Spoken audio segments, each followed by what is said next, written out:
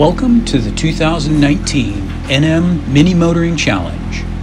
I conceived the event to bring us together but allow us to motor separately as our schedule permits. I pored over maps and selected unique points of interest around the Land of Enchantment, each with a point value based on the distance from Albuquerque. I also threw in some bonus points for the following buying accessories from Sandia Mini, organizing an event or attending an event. I finalized the rules, and Carrie created some way cool stickers. Becca at Sandia Mini deserves a big shout out for coming up with the driver placards.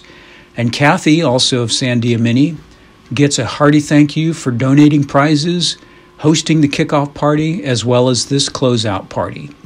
And now for the main event. Let's motor!